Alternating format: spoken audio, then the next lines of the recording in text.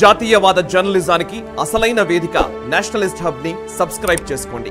Notifications కోసం bell icon పై click చేయండి. నమస్తే.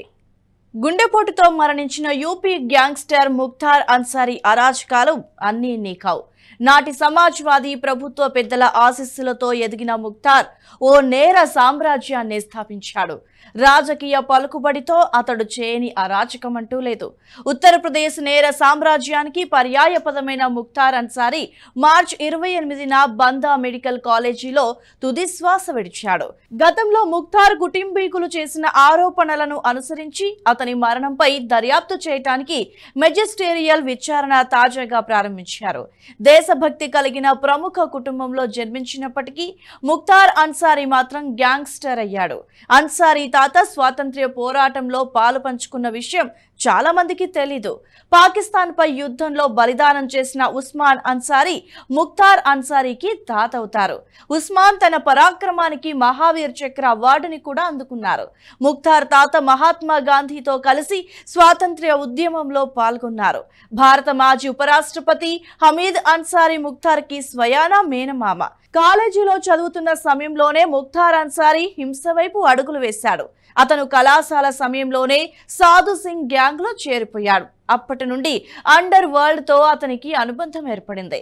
ముక్తార్ కేవలం గ్యాంగ్ మెంబర్గా సంతృప్తి చెందలేదు. ప్రత్యర్థి ముఠా నాయకుడు బ్రిజేష్ సింగ్తో గొడవకు దిగాడు.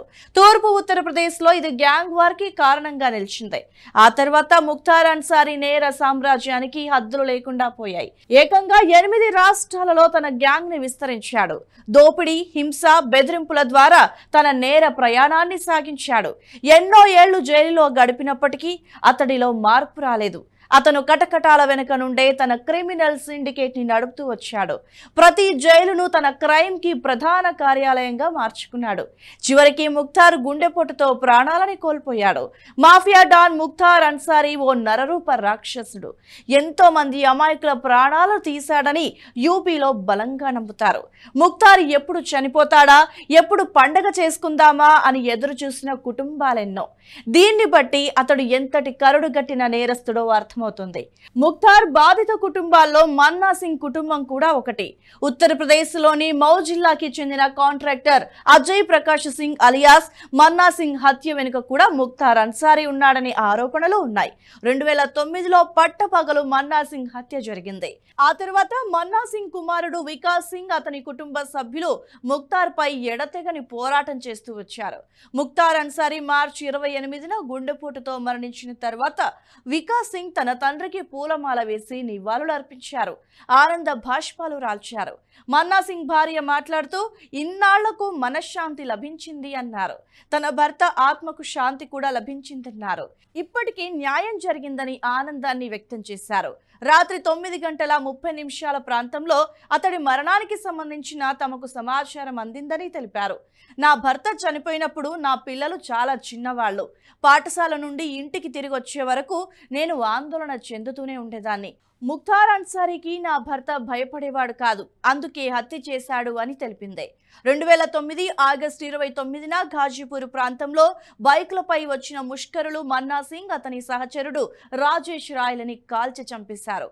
మన్నా సింగ్ సోదరుడు హరేంద్ర సింగ్ ముఖ్తార్ అన్సారీ హనుమాన్ పాండే కల్లు సింగ్ ఉమేష్ సింగ్లపై కేసు పెట్టారు. ఆ సమయంలో మౌ ఎమ్మెల్యేగా అన్సారీ ఉండేవాడు. ఇక మన్నా సింగ్ హత్యకి ప్రత్యక్ష సాక్షి రామ్ సింగ్ మౌర్య. రెండు వేల పది మార్చ్ పంతొమ్మిదిన మౌ నగరంలో విచారణ సమయంలో హత్యకి గురయ్యాడు. అతని కాపలాదారుగా పనిచేస్తున్న కానిస్టేబుల్ సతీష్ని కూడా చంపేశారు. అయితే ఏడేళ్ళ క్రితం ముక్తార్ అన్సారీతో సహా ఎనిమిది మందిని నిర్దోషులుగా విడుదల చేయగా ముగ్గురు నిందితులను దోషులుగా నిర్ధారించారు. వారికి జీవిత ఖైదు జరిమానాలు కూడా విధించింది న్యాయస్థానం. ముక్తార్ అన్సారీ ఈ లోకంలో లేడని అతని నేర సామ్రాజ్యం నాశనమైందని మన్నా సింగ్ కుటుంబం ఎంతగానో ఆనందంగా ఉంది. ఇలా ఎంతో మంది కుటుంబాల్లో ముఖ్తార్ అన్సారి విషాదాన్ని నింపాడంటూ చాలా మంది చెప్పుకొచ్చారు. ఈ వీడియో మీకు నచ్చినట్టయితే లైక్ చేయండి పది మందికి షేర్ చేయండి అలాగే కామెంట్ల రూపంలో మీ అభిప్రాయాలను మాతో పంచుకోండి. నేషనల్ హబ్ గ్రూప్ ఆఫ్ ఛానల్స్ను సబ్స్క్రైబ్ చేసుకుని తెలుగునాట జాతీయవాద జర్నలిజాన్ని ప్రోత్సహించండి. ఈ వీడియో కింద ఉన్న బెలైకన్ పై క్లిక్ చేయడం మర్చిపోవద్దు.